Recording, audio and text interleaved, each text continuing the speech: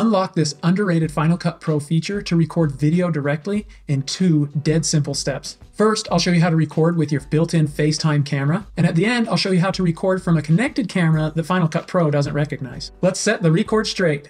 Oh, I'm so sorry. In Final Cut Pro, go up to File, Import, and select Media. Or click this button right here, or even faster, just press Command I.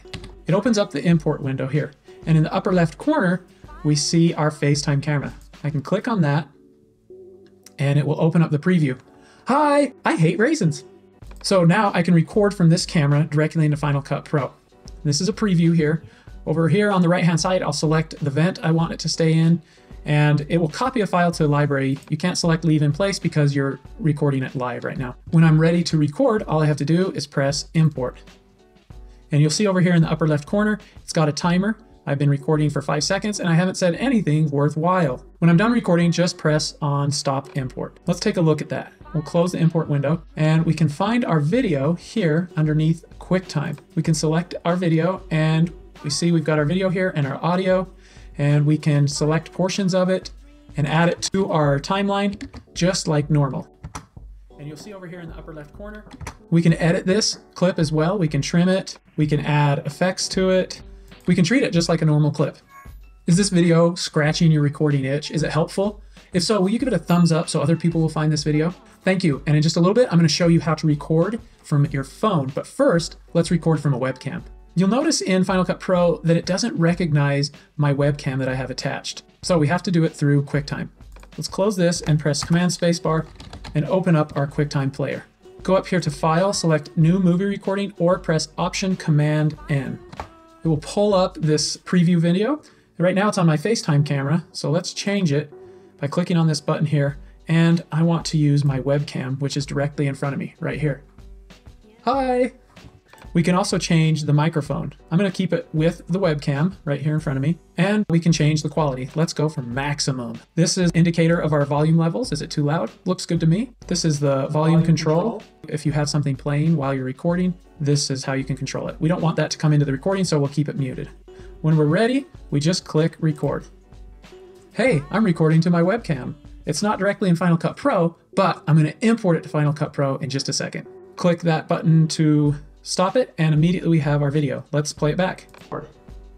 Hey, I'm recording to my webcam. It's not. All right, so we have our video here. We have some options. We can do a little picture in picture effect. We can also share it by clicking on here, sending it through messages or airdrop it. And we can also change the playback speed. Let's save this by pressing Command S and naming it, and we'll save it on my desktop. Now let's go back to Final Cut Pro and let's import that. We'll press Command I and we'll find our file. It's on my desktop. Say content created was today. There it is, webcam. I can't select in and out points. I have to import the entire clip and I can preview it here as well. So I'll select my clip, I'll select the event I want it to save in, and do I want to copy it to the library or leave it in place? And I can also analyze the video and audio for more advanced features. All right, let's import this bad boy and you'll find it in the browser under QuickTime Movie. Here it is, Dylan Webcam. And now I can import just a section of it or all of it into my timeline. And just like any other video clip, I can move it around, I can trim it, I can adjust the audio, I can add effects to it. It's just like a normal video clip. All right, now let's use my phone to import it. Go back to QuickTime, let's close that recording and go up here to New Movie Recording. And instead of the webcam, let's select my iPhone camera. You have to have it plugged in to the computer in order to start the recording. You'll notice it has uh, this up. It has a little indicator here. I've got my camera and I'm gonna record with it. So I'll just hit record here and it's recording. Hi, I'm recording with my phone. You wanna see my studio setup? And then when we're done recording, just click this button here. Now I can save this file, Dylan phone, and we'll close that. Another way to import it is to drag and drop it. So I'll go to Finder to my desktop and I'll just drag and drop that into my timeline. And we can edit this just like any other video. Record here and it's recording.